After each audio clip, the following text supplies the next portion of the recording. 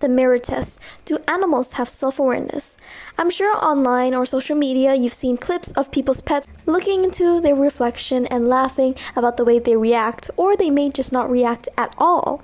Thanks to psychologist Gordon Gallup Jr., in 1970, he explored whether animals possess self recognition, a sign of self awareness and higher cognitive ability. And this is how the experiment went.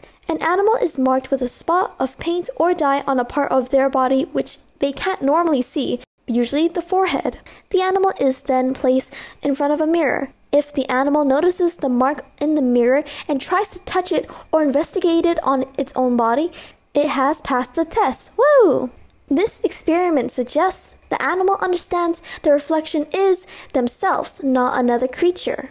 Animals that have passed this test are great apes, chimpanzees, bonobos, or orangutans. There are also dolphins, elephants, magpies, a bird, some ants, and possibly manta rays. And here are the animals who have failed the test so far most dogs and cats, though some researchers argue the test may or may not suit their senses. Monkeys, some species recognize others but not themselves. And lastly, pandas and many other mammals which can come off as a shocker since, you know, there's so many funny compilations online of dogs and cats looking into their mirror and being very startled and being playful, but it could be just a possibility of them assuming it's another person, like their friend or an enemy, but not themselves. Now, why does this matter? The mirror test is a landmark experiment in animal cognition.